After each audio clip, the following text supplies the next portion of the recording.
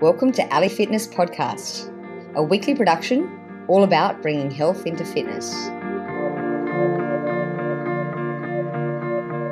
Kale Brock is an award nominated writer, producer, and speaker. With a special interest in health and well-being, Kale has just released The Gut Movie, in which he travels to Namibia to live with the San tribe. So today we're going to find out a little bit more about the gut and its important role in our bodies. So firstly, Kale, welcome to the show. Thanks for having me, Ali. Now, I appreciate you like vegetables, but I've never, I've never even contemplated changing my name to uh, kale or broccoli. But I'm just assuming that you changed your name, or well, I actually didn't. So this is the question that I get asked probably most frequently on little media appearances. Is that your real name? And it is, in fact, almost to the point where I'm starting to include my birth certificate in my presentations now. So it was the name I was given with no middle name, just Kale Brock. And then I um, decided to roll with it. And now my Instagram and Facebook is at Kale's Broccoli. So it's a very cruciferous name. That's really interesting. So, Kale, I know that you've had health issues in the past, and I sort of wanted to start there. Can you just let us know about your health issues as a teenager and, and how that potentially shaped your career?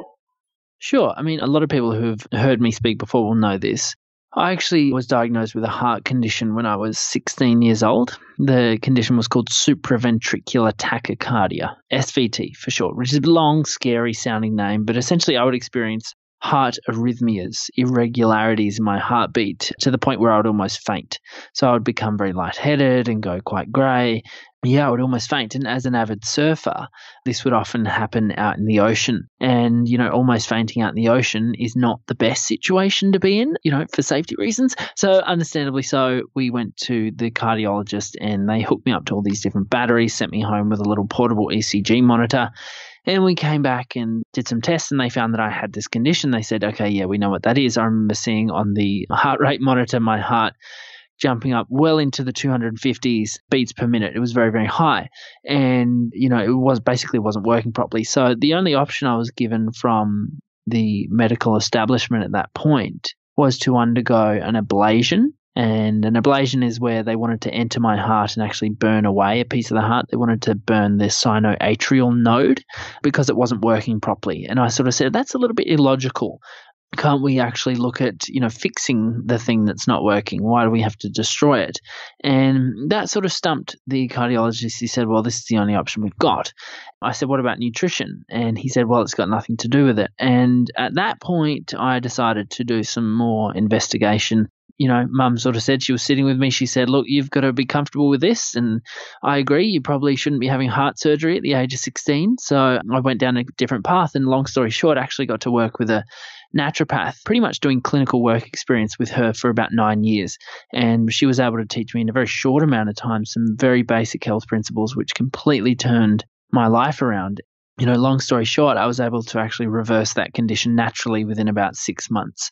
So a massive, massive difference is going from a diagnosis of, you know, there's nothing you can do, you're going to have it for the rest of your life, to reversing it in about six months and now managing it successfully for 10 years. That's where my interest in health and well-being started. And as a curious person with journalistic tendencies. I had a lot of research and questions to ask, and that's now become my vocation is to sort of tell stories surrounding health and at the moment, in particular, gut health, and provide a medium on which various experts can share what they're doing, their incredible work that they're doing. So I've, got, I've pretty much got the easy job now, which is pretty nice. All the experts do the hard work and the research and the clinical hours, and I just swoop in and and steal the glory by making a film about it all. Excellent. So, Carl, what were those few things that you changed that made you so healthy and get over this issue with the heart? I don't know exactly what it was which really had an impact on my heart. I did write a blog about exactly what I did because I got so many questions and I actually when I was health coaching was lucky enough to work with a couple of people with the same condition who also achieved the same result. So I still don't know exactly what we did, but I believe it was just, you know, getting on a whole foods diet, focusing on, you know, a lot of plant foods with a little bit of animal protein, really balancing my blood sugar, fixing up my gut health, fixing up any malnutrition or gaps in my nutrition with some basic supplementation like minerals and trace elements and some probiotics. And yeah, just over time, that started to dissipate that condition. And now, you know, going from experiencing arrhythmias once every week or a couple of times a week to now, you know, I can't even remember the last time it happened. So it's a pretty stark thing. And I think, you know, we all have the capacity to heal when we give the body the right raw materials. And I suppose if you look at what I did, it would be giving the body the right raw materials so that it can heal. Because as, you know, chiropractors will say, the body is a self regulating and self healing mechanism. It can do that. We just need to give it, yeah, the right stuff. Mm, and it's interesting that you had a heart issue, but it was actually the gut that you attacked or or mm. addressed. Mm. Yeah, and that's sort of what science is confirming is that the gut and the microbiome is sort of this foundational health principle that we need to have in balance if we are expecting optimal health and wellness because without it we're you know using crutches really it's quite a big bang for your buck part of your health. When you get it right, it makes everything else, or at least treating everything else, much easier. It's not to say that you don't need to use targeted methods, such as, you know, emotional therapy or something with the mental illness, for instance. It just makes it a lot easier, or it makes those methods more effective when you have good gut health on your side. And to put it in perspective, do you know the stats on gut issues? I guess it's probably hard to say, but do you have any information on that? One of the biggest questions is what is a gut health issue? Because a lot of it's not recognized as being a gut health issue in the conventional medicine space, at least. You know, we have millions of people with autoimmune disorders, for instance, but they're not recognized as being a gut microbiome issue. You know, we have people with mental illness or mental challenges or emotional challenges who are also, you know, diagnosed in the brain only with no recognition of a potential connection with the gut microbiome. So it's very hard to say. I mean, officially, the statistics would be the well bandied term is, you know, at least half of us have some sort of digestive issue. But I would sort of say that at least 90 to 95% of us really have a digestive issue. And, you know, of course, we've got rates on bowel cancer and stuff, which are sadly increasing when it's, you know, a very, very preventable illness. So there's a lot of stuff going on. It's there for a variety of reasons. It's not just the fact that we're diagnosing more illness now. It's also because we're using antibiotics frivolously. We're misusing antibiotics, I should say, which, you know, even the World Health Organization is it saying. And unfortunately, Australian GPs are some of the, the worst, unfortunately, in terms of statistics on overprescribing antibiotics for things like acute respiratory infections. And we're also eating a lot of processed sugar and things like that. And also, I will say that we're walking into the GP's office expecting antibiotics. So we quite often get them. I think we're very misinformed as a general population in terms of how the things we take, what we eat, how we live impacts our gut microbiome. And I'm interested to talk to you a bit more about your movie. I understand that it's a bit of a quirky take and it's not too serious, but it does address some serious issues. Can you give us a bit of an insight as to who you interview and what the sort of overall maybe take on the gut is from these professionals? Yeah, I mean, one of the goals with the film was to try and make it approachable for everyone.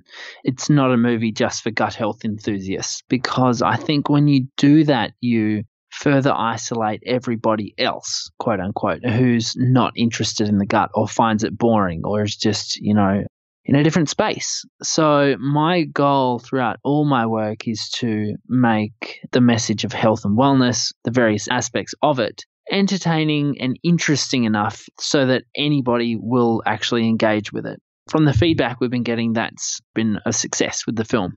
The whole uh, sort of origins of the film started when I did my Gut Healing Summit, which was an online event where I interviewed about 16 different experts from around the world on the gut and the microbiome, looking largely at does the optimal microbiome exist?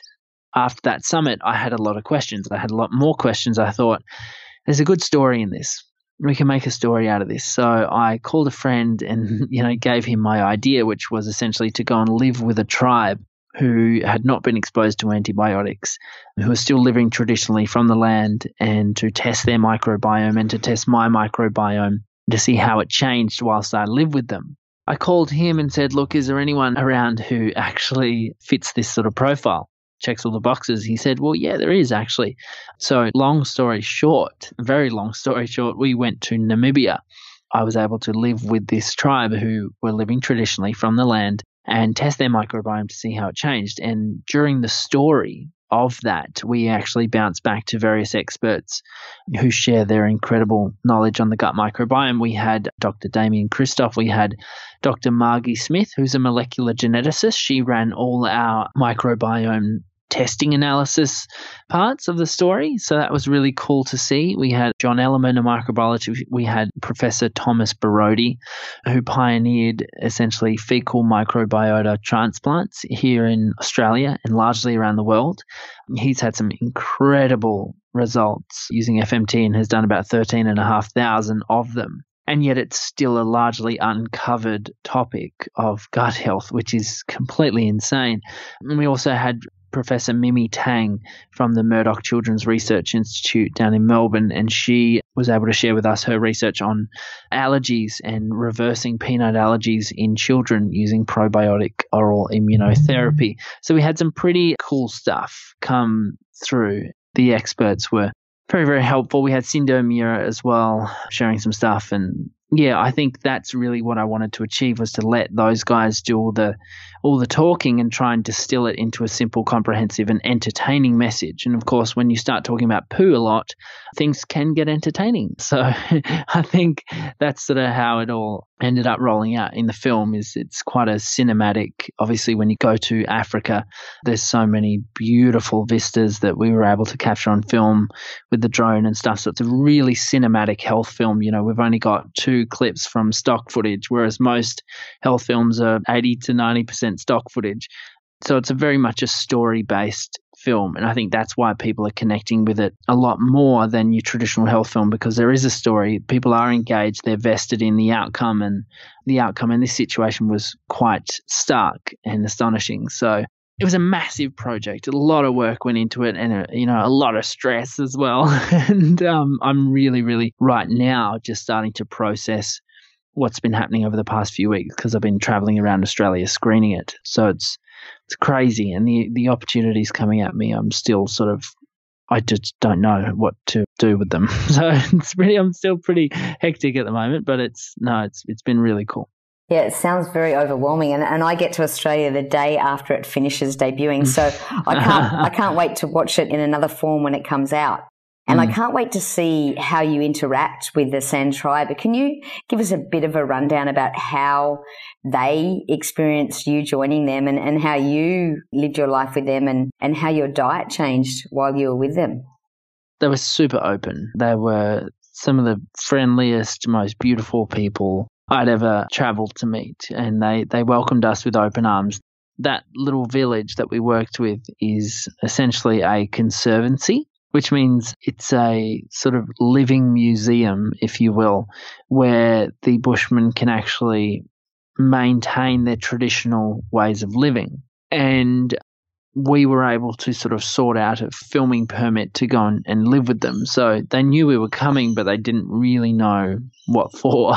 that sort of led to interesting situations when we began requesting some of their poo samples, which makes for pretty funny viewing in the film it was weird because it was so far removed from Western society. I mean, the closest town, and uh, you wouldn't even call it a town really, is 25 kilometers away. And then from there, you've got the next, I suppose, big town, which is really like a country town here, which is probably another four hours drive away. So they're very, very remote. And so we took about three days to actually get out to them. So we were very tired we got there and we set up our tents because you know there are scorpions and death adders and lions literally not too far away that we, we heard the day before we were there there was a lion that had killed a kudu only one kilometer away and was feasting on the carcass. So it was quite very wild africa. You know this isn't a fenced in game park or fenced in animal free zone. This is truly wild Africa. So we were out walking with the Bushmen every day, foraging for food, and we did find things like bush onions, bush potatoes, just various versions of foods we have over here, but truly wild versions of them, so heirloom varieties. And, you know, big tubers that we found underground, some berries, And, you know, we went hunting as well. And that was a pretty incredible experience, too. Quite surprising for me how impactful that experience was. And, you know, they were also able to share with us some of their dancing and celebratory acts. And yeah, they were just overall a very relaxed, stress free, beautiful, community minded culture. And, you know, I think with all the talk on the food side of it and the biology side of it and the microbiology side of it, I still I think one of the biggest things that I've brought back is the emotional and societal parts of the experience. You know, how can I start to reapproximate that in my own life here by being connected with my food supply and de stressing and developing a really strong sense of community. All those sorts of things that have really yeah, had a big impact on me and have become significant areas of my life that I'm now working on. Interesting. So it sounds like it's a bit more about how you eat and who you eat with and the whole culture around it as opposed to what you're actually eating. I think so. And I think that's really where a lot of the science will go it won't be so obsessed with what you're eating because, like you said, how we eat and who we eat with is going to have a massive impact on not only our digestion, also the state of our gut microbiome and our gut lining. We know that stress seems to stimulate the gut lining to become leaky, less integrity in the gut lining. So I think that's an area of the gut story that is still in its infant stages, and we can expect more on that. But it was really cool to observe and at least comment on for now without looking at all the science because it's not there on that sort of thing. So I think when it comes to the gut, food is going to be always very, very, very, very important. But I don't want to dismiss these other factors just yet. Mm. And can you share with us a few test results? From the, the film? Mm. Yeah, so without spoiling it, we focus largely on microbial diversity as one of the main indicators of microbiome health because that's being used quite commonly across the board as an indicator of microbiome health. We focus largely on that, particularly with me. We did go into some specifics, like, for instance, I had a lot of Faecalibacterium prausnitzii, which is almost like a, another language, but it's actually considered one of the probiotics of the future. And that particular probiotic is very, very anti inflammatory. So we did chat about that. And I had a lot of oxalobacter, which help you digest those oxalates found in green leafy vegetables like kale and spinach and stuff you know, it's interesting to observe that, but we did focus largely on microbial diversity as that measurement to see how my microbiome was impacted whilst I was there. And so we took the test beforehand back in Australia and then took the test on the last day with the Bushman. And there were some pretty astonishing results without giving the exact details. The change in my microbial diversity was very significant after only a week.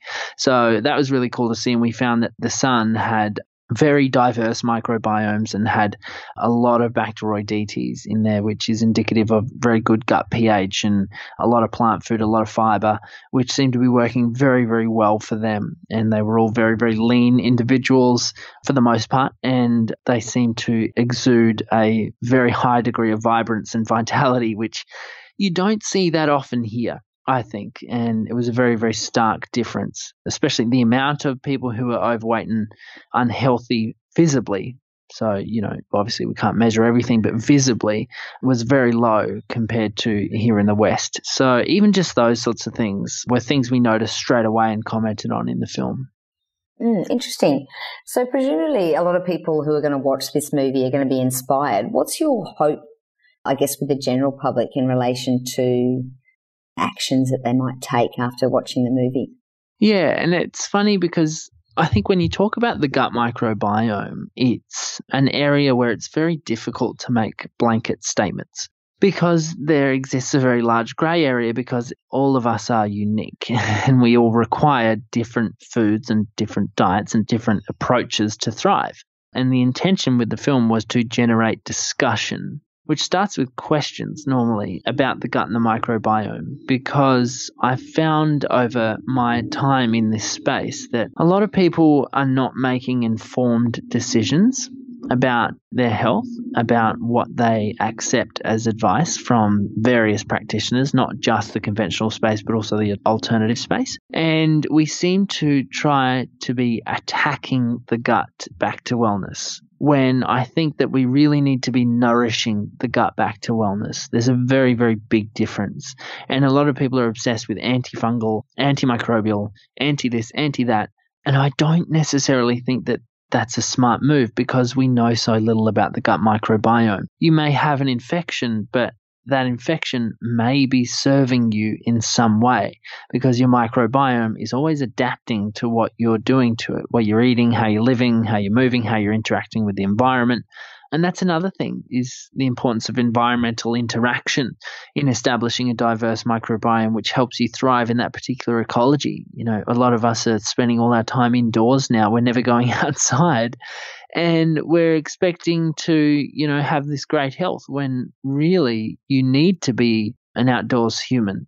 You need to live like a human being in order to attain that. So, all those sorts of things I think come up in the film, and a lot of people, I think, because of the way we tied together the film, in that it's quite entertaining, it's quite engaging, it's quite cinematic.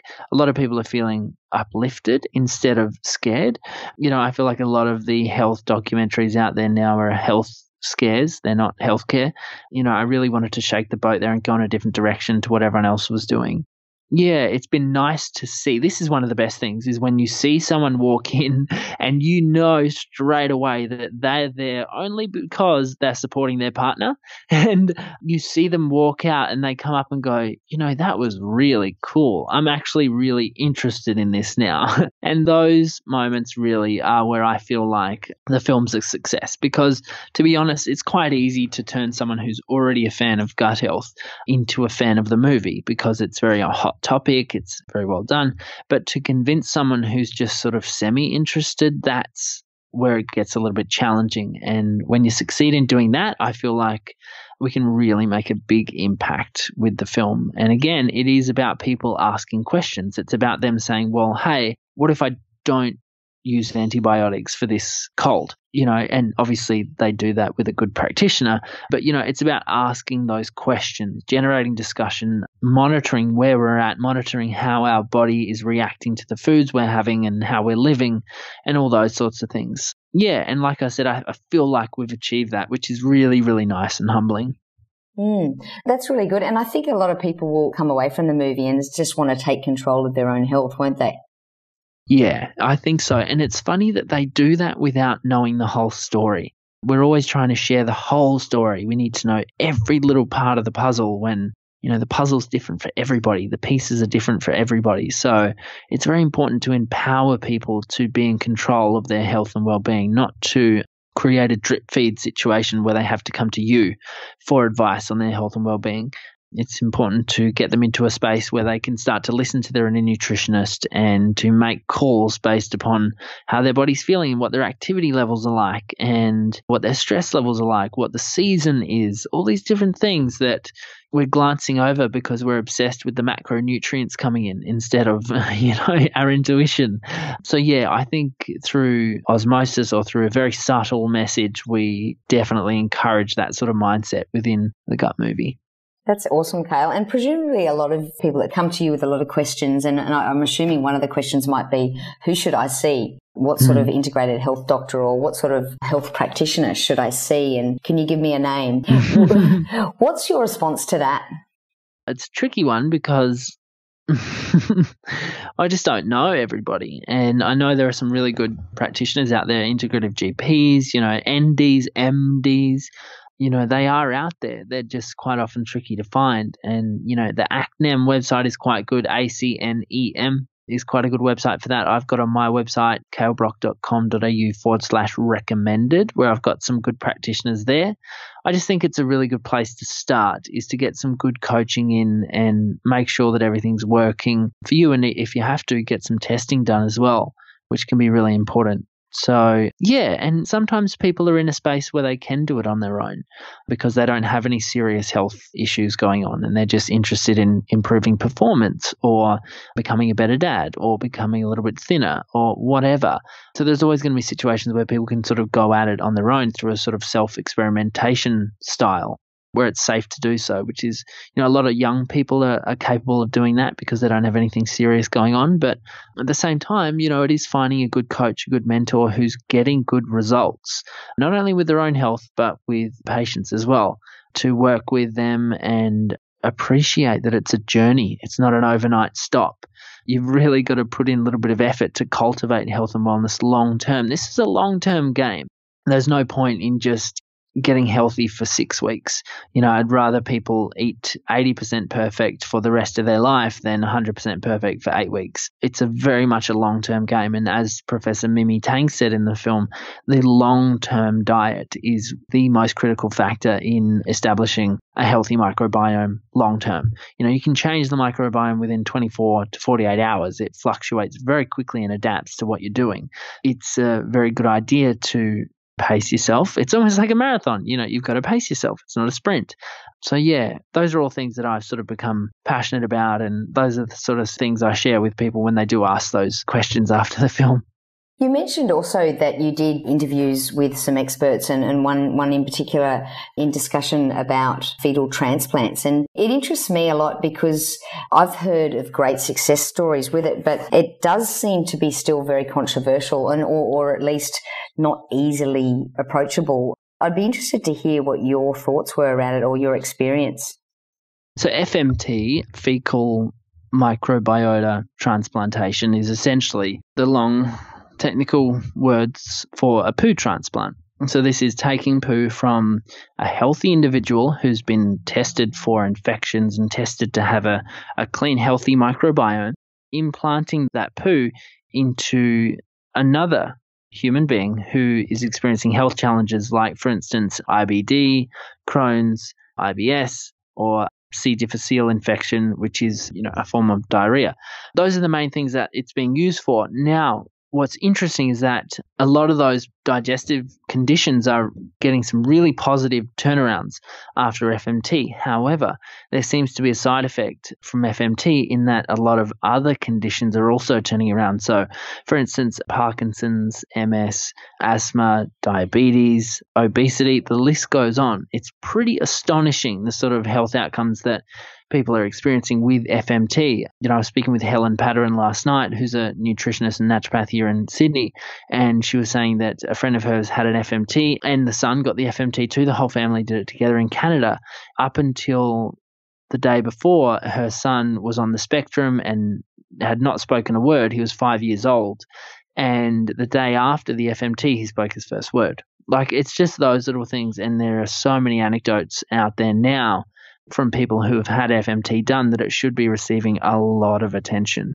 I think the reason it's not is because, and it's not so approachable, like you said, or not so much approachable, but what's accessible, I think is a better word, is because it's poo, you know, and we still have a stigma associated with something so rudimentary or seemingly rudimentary as poo, fecal matter. But really, everybody poos. And the thing is, poo is a reflection of the gut microbiome it's just a normal process. And, you know, when we're getting results like that, it should be considered quite heavily in terms of how we actually approach health and wellness. And I'd still say that from my perspective as a journalist, as a researcher on this, FMT is still a medical procedure. It's still a procedure for people who are sick.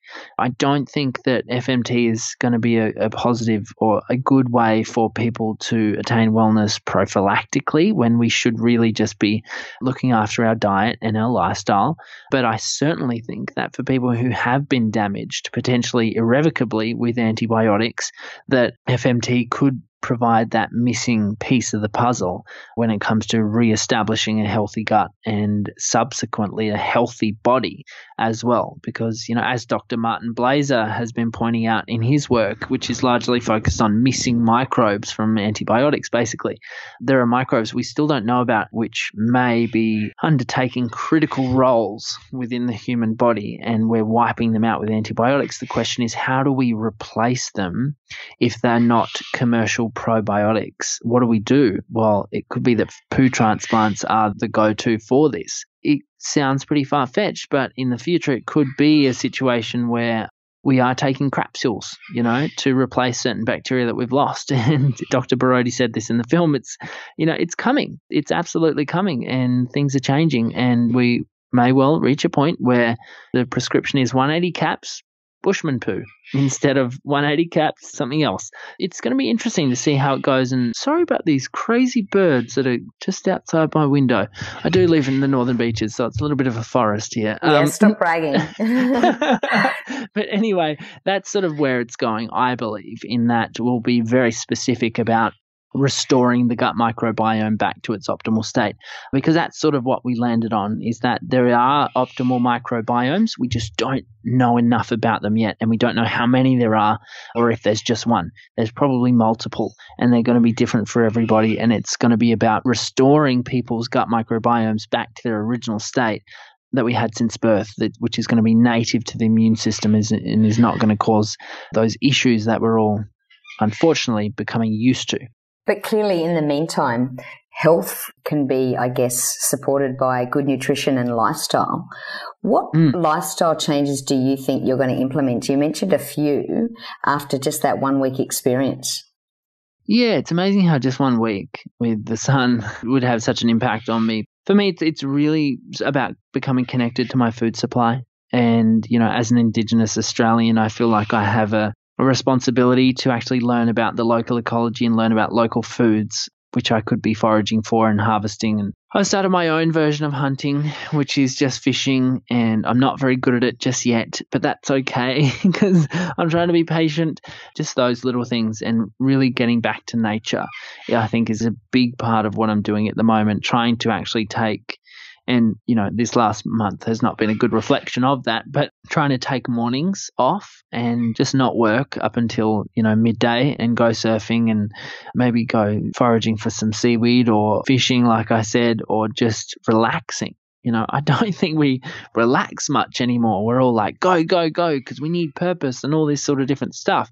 I'm trying to get even better at relaxing and taking time off, which for a Gen Y surfer is a pretty bold statement, I think, because we're already pretty good at it. So, um, yeah, I think those are the biggest things that I've sort of brought back and appreciating whole foods for what they are and not judging food based on its macronutrient content, really, you know, trying to accept what the earth and planet is giving me at certain times a year in this local environment. So, like tomorrow, I'm doing a big foraging workshop where I'm going to go in depth into learning about all this sort of stuff available around my area more than what I currently know. So it's just those little things which I think really have a large impact, which we underappreciate. Imagine how many microbes that I'm picking up from the local environment when I go and harvest some seaweed and, and eat it. You know, it's all those little things that I think make up a massive part of the overall human experience, but we right now we're too focused on you know being keto or being fat adapted or or all these different things, which are great for the certain people. But you know my sort of focus has become elsewhere because the San they're not stressing about what they're eating; they're eating to survive,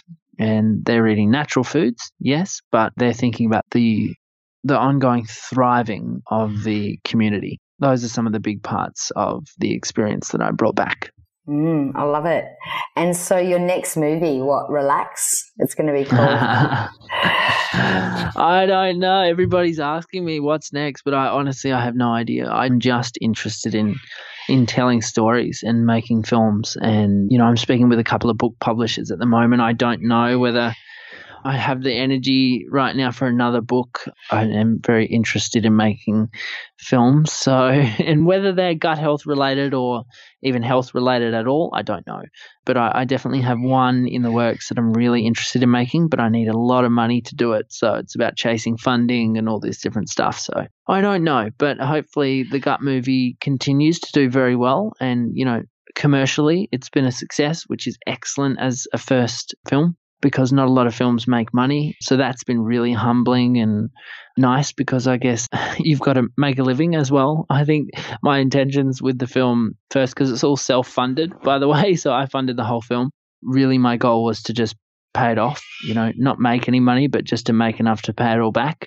And, you know, that's been done. We've crossed that th- threshold already. So in one month of it being released. So that's pretty amazing. And I didn't expect that hopefully it's all sort of up from here and over the next couple of years i'm sure i'll shift and transition into new areas of health and maybe it'll be flow state and neuroscience or maybe it'll be something completely different. I don't know but it's a really good question that you're asking me because every time i answer it i, I arrive at a a new place to, mm. to see things from. So, TBA is the answer. I, I, think you should just relax for a year and uh, create a San tribe in uh, northern beaches of Sydney. that sounds good, doesn't it? so, Kale, before I let you go, I've just got one question for you that I asked all my guests on the show, and that is, do you have a tattoo? No, but it's funny because I've been thinking about getting one over the past couple of weeks, and I'm concerned because I've been taught and told that you can get heavy metal, not poisoning, but toxicity. you know, you can. Yes, toxicity involved with tattoos. And I think what I'm going to do is settle for a new haircut instead for a while just to take the edge off. And if I'm still desperate to get a tattoo in a year, I'll get one. But the short answer is no. I don't. I'm sorry. okay. Well, it's interesting you mentioned that. I had one of the doctors on the show who actually sent me some articles about toxicity in tattoos after me asking him the mm-hmm. question. So, what, what did they, what was your summary of those? Were they like, was it toxic? I prefer not to say because a lot of my a lot of my guests already have tattoos. Um, oh, well. Too late. sometimes it's better not to know. Mm, yeah. Look, thanks again, Kale, for coming on the show. Well done with your movie. And can you please let us know as soon as we can see it, apart from coming to uh, Australia and watching a premiere? We'll definitely announce as soon as it's available on a wider scale, and it is coming. It's just, you know, these things do take a little bit of time. I am endeavoring to get it on wider platforms next year. We'll announce that on my socials at Kale's Broccoli or, or via the website, kalebrock.com excellent. And we'll include that in the show notes as well. Thanks again, Kale. Thanks for having me.